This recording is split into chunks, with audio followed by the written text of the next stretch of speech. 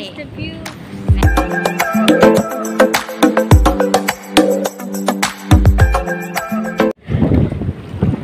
Hello guys! Welcome to my channel. This is Lottie Vine. So for today's vlog, ang ipakita ninyo ang sanctuary. So naa ang sanctuary.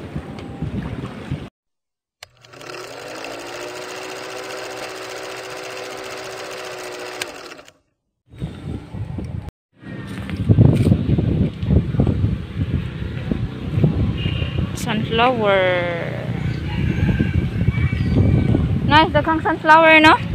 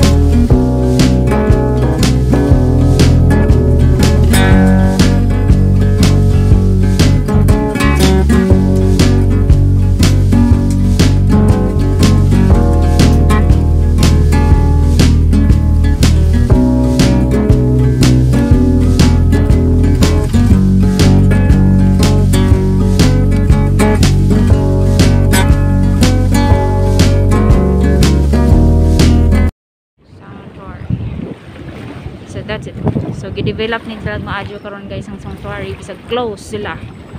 So ang ko di man ta kalakaw og ladyo so diya sa tas sanctuary. Actually guys, ang kaning sanctuary duol ra ni sa amo.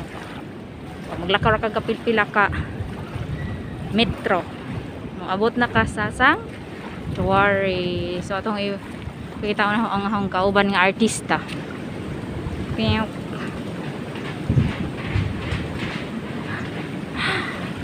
Manay artista nga akong kauban guys.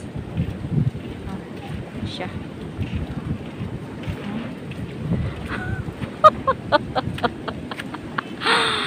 hmm. Nindot ka just sa diri guys. Ah. So I hope nga na nadungog gahong tingog guys. Oh my god. Unsa sa ito oy. Sige. So mag Lako-lako kita din. Kanindutan sa sanctuary.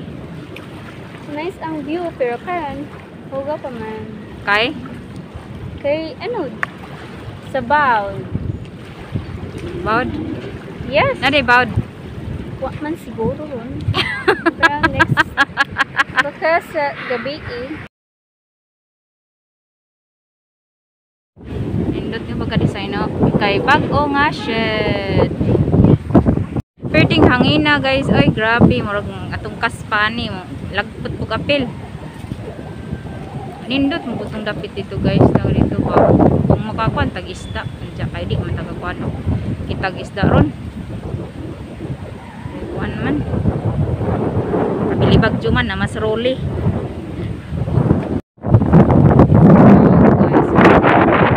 close pamagod sila gud na nice ka adyo dito ato matanaw og mga isda di usa diha oh artista naman si Froggy.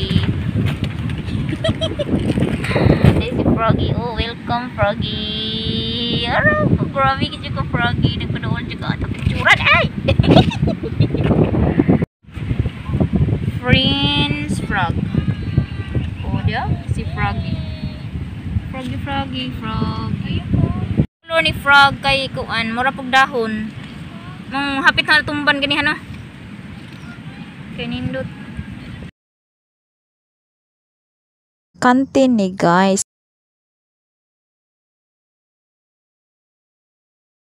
Para musikat ang sanctuary.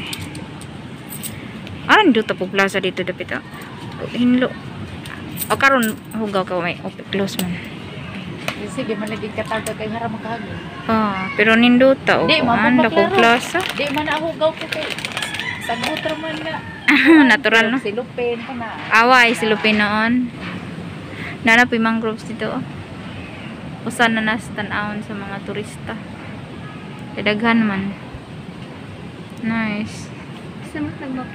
So, pauli namin duha. Yeah. Oh, dugay pa ko na mo. Open diha kay renovate ang sanctuary. Plus COVID pagajud.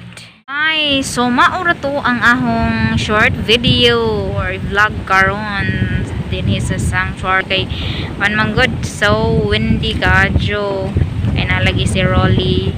So I hope you like my vlog today guys and thank you. See you on my next vlog